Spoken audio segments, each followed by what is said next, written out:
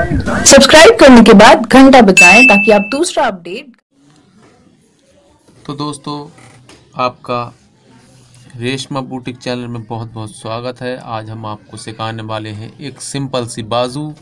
तो उस बाजू को क्या करना है जैसे कि हमें एक, एक अपने बाजू के लिए कपड़ा ले रखा है उस कपड़े के लिए हमें क्या करना है यहाँ से हमें करीब पौने तीन इंच चौड़ा एक कपड़ा लेना है और उस पर यहाँ निशान लगा लेना है। इस तरह। निशान लगाने के बाद पौने तीन इंच पे लगाया। यहाँ हमें निशान लगाना है पौने दो इंच पे। और इसको इस तरह से, इस तरह से हम उठा लेंगे निशान।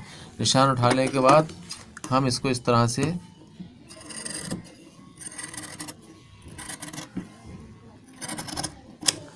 कट कर लेंगे। कट करने के बाद जो हमने ये दो पीस कर रखे हैं, इन पीसों को बीच में से इस तरह काट लेंगे। ये हमारे दो अलग अलग पीस हो चुके हैं। अब हमें थोड़ा सा यहाँ क्रॉस और दे देना है इस तरह। अब हमें इन पीसों को एक अपने प्रेस की मदद से या हम इस तरह नाखून की मदद से इसको फोल्ड कर सकते हैं। इस तरह।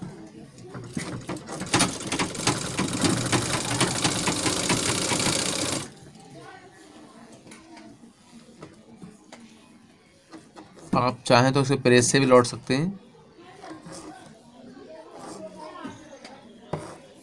इस तरह। अब हम आपको एक चीज़ बता दें, जो आपके लिए बहुत ज़रूरी जानकारी है, जैसे कि हमारी बाजू है। इस बाजू की लंबाई चौड़ाई है साढ़े पाँच इंच मतलब ये तैयार होने के बाद नीचे मार्जिन समेत ये रह जाएगी हमारी साढ़े चार इंच। जब साढ़े चार इंच रहेगी तो एक चीज़ देखते हैं, जब कभी आप देखते हैं कि कंधी पे हमारे जो लेडीज़ पहनती हैं तो उसे कंधी पे सामने में एक इस जगह अल्ट्रेशन आती है झोल की, कि वहाँ कपड़ा ज़्यादा होता है, फिनिशिंग नहीं आती है। तो उसके लिए हमें क्या करना होता है? उसके लिए हमें यहाँ से इस तरह करीब पौन इंची चौड़ा, पौन इंच से कम ना हो, वरना कोई फ़ायदा ही नहीं लगेगा काटने का। पौन इंच से चौड़ा ही हो। मतलब पौन इंच तक होना चाहिए। तो इस तरह से हम उसको यहाँ से कट करके और इस चीज़ को निकालना बहुत ज़रूरी होता है और आप इसको बढ़िया करके सेट कर लीजिए इस तरह।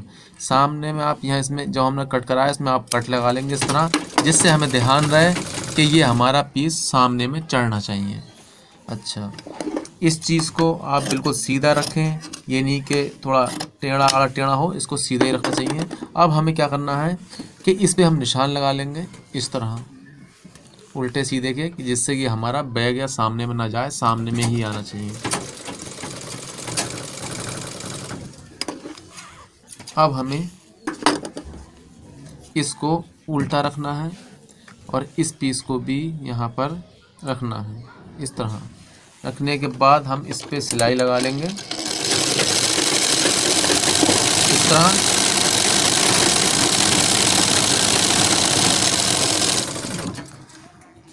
सिलाई लगाने के बाद हम इस तरह अपने नाखून से या प्रेस की मदद से इसको सही कर लेंगे मतलब इसको फिनिश कर लेंगे। और हमें यहाँ पर एक सिलाई लगानी है लब की। लब किनार पे सिलाई लगानी है, इस तरह।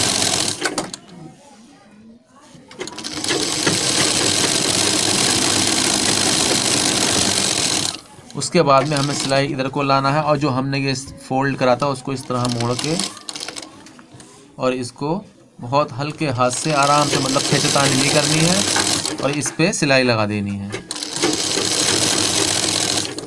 ये ध्यान रखें, इसका बीच का हिस्सा और हमारे बाजू का बीच का हिस्सा सेम रहना चाहिए, ऐसा ना हो थोड़ा इधर को आ जाए या उधर को चला जाए। इसको हमें बीच में ही रखना है।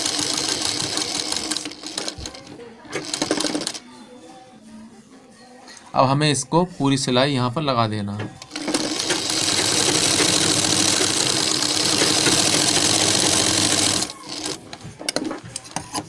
यही सेम तरीका हमें अपनी दूसरी बाजू में बनाना है और हमें यहाँ एक अपने बटन का इस्तेमाल करना है तो हम आपको दिखाते हैं।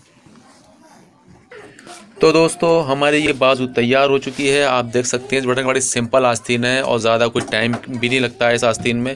अगर आपको हमारी वीडियो अच्छी लगी हो, प्लीज़ तो लाइक करें और हमारे चैनल को सब्सक्राइब करके हमें सपोर्ट करें।